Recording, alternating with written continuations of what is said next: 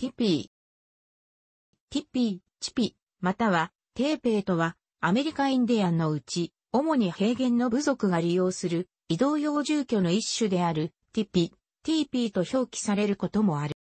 ティーピーは、スー族をはじめ、カナダ南部、北米平原部、北西部の移動しながら狩りを行う文化を持つ部族の野営用の住居である。小さいものでは1から2人、大きいものでは数世帯が居住できる巨大なものもある。大抵の場合、入り口は太陽の昇る東向きに建てられる。テントと決定的に違うのは、中で火を焚くことができることである。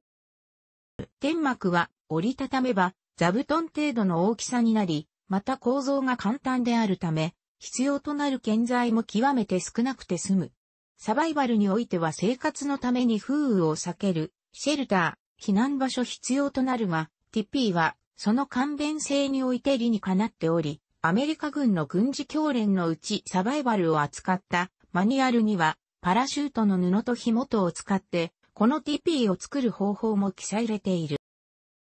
平原部族は一年中ティピーで暮らしていたわけではなく、夏の間ティピーを使って移動狩猟を行い、平原が雪に覆われる冬の間は、冬の村、ウィグワムの集落で生活していた。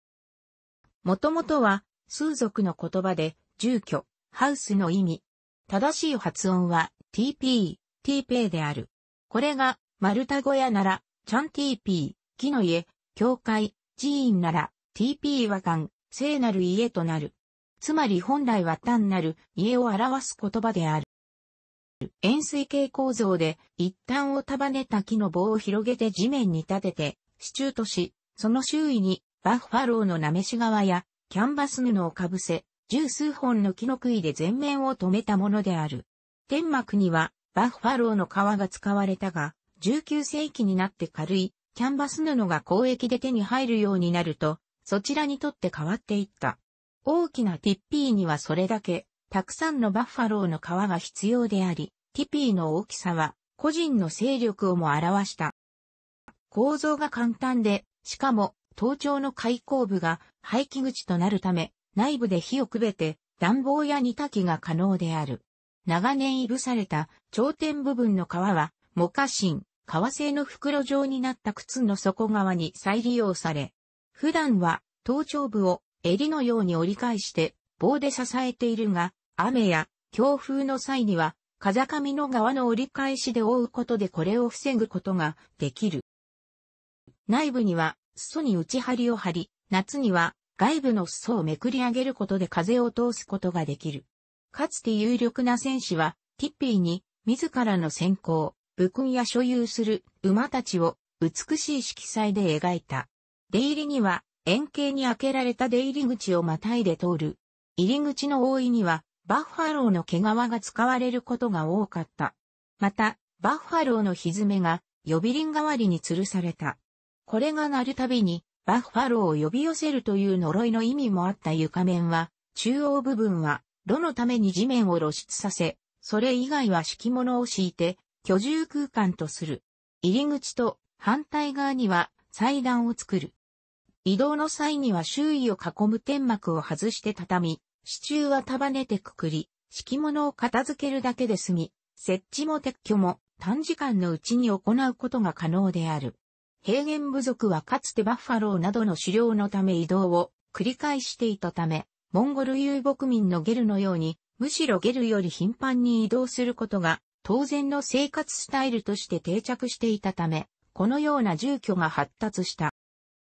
柱はひとまとめにされて、トラボイとして犬や馬に引かせる荷台、末端を地面につけて引きずるソリのようなものとし、荷物や赤ん坊を乗せた。車輪よりもこの引きずり方式の方が、あらゆる地形に対応できた。このような仕様のため、柱はすり減って、次第に短くなるものだった。堀内時代になると、ティッピーはみんな大型のものばかりになっていったが、これは移動生活が白人によって禁止されたために、柱がすり減ることがなくなったためである。ティピーを建てるのは女性の仕事だった。19世紀にインディアン戦士たちと狩りに出た白人が野営の際、男たちがティピーの立て方を全く知らなかったという記録を残している。正式なティピーの立て方は、まず地面に穴を開ける許しを精霊に乞い、呪い師が清めの儀式を行い、柱を刺す穴を円形に掘り、柱を円錐型に立てる。これをロープ、昔はバッファローの剣で巻いてまとめるが、この際、柱の周りを一回りするごとに祝詞を上げる。その後ロープの先端を中央部に下ろし、木の杭でしっかりと地面に留める。それから天幕をかぶせる。ティピーでは独自のエチケットが要求される。これは現在でも変わらない。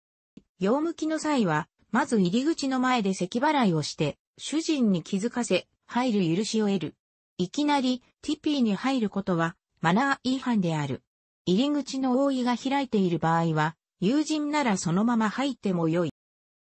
男の訪問者なら、中に入ったら、まず右側へ寄って、客席、奥にある主人の席の左側に座る許しを主人が出すまで待つ。女の訪問者は、男の後から入り、左側でこれを待つ。中に入った者は、先に座った者の外側を通り、円形に座っていく作法である。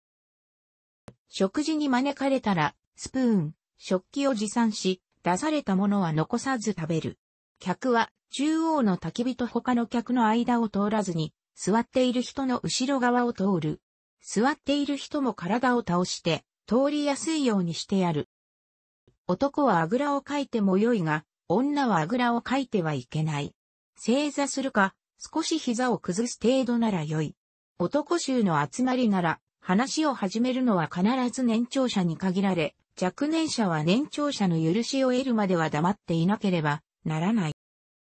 主人がパイプの掃除を始めたら、帰れという合図である。1960年代からのインディアン、権利回復要求運動、レッドパワー運動、レッドパワームーブメントでは、TP はインディアンたちの権利のシンボルとして使われた。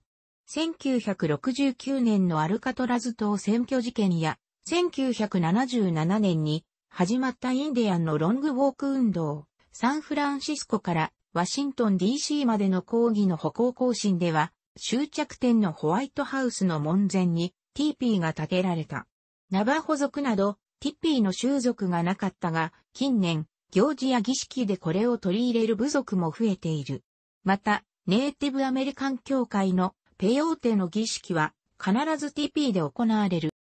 クロー族の保留地、リザベーションでは、毎年、クロー族 TP 祭というパウアウが開かれ、参加した多数のインディアン部族によって建てられる数百に上る TP が名物となっている。日本においては、千葉県浦安市の東京ディズニーランド内、トムゾーヤ島や、愛知県犬山市の野外民族博物館、リトルワールドなどで再現されている。楽しくご覧になりましたら、購読と良いです。クリックしてください。